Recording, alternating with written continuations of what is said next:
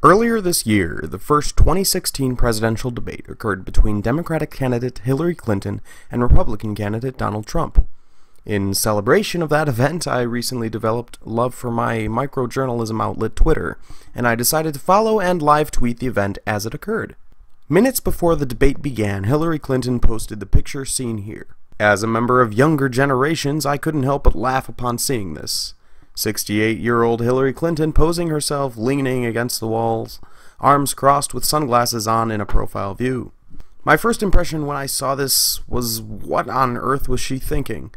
Quickly after seeing this, I went ahead and put my own spin on the image. I was trying to spit out at least one tweet every two minutes or so to keep up with the debate. Obviously, this image and caption is satirical, however, this sarcastic response may make some viewers look at the original image a little closer.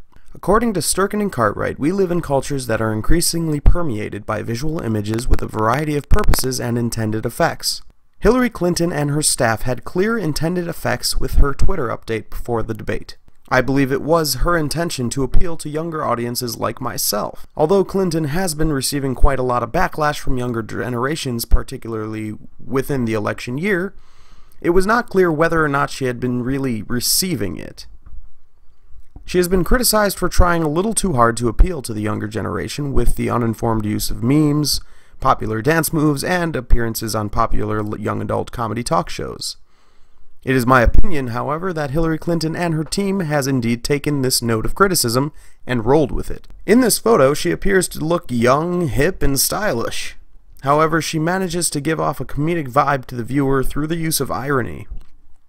We do not see her in this photo wearing her typical pantsuits, but rather a sharp button-down, long-sleeve shirt and a pair of sunglasses. In addition, she's leaning up against a wall, looking out into the distance, almost as if it's her high school senior photo. Personally, after looking at this and thinking about it for a while, I see someone who is appealing to the younger generation and, despite the recent backlash, has successfully managed to turn it around and make something influential about it. There are a few ways to look at this image in the terms of ideology. According to Sturken and Cartwright, images are an important means through which ideologies are produced and onto which ideologies are projected.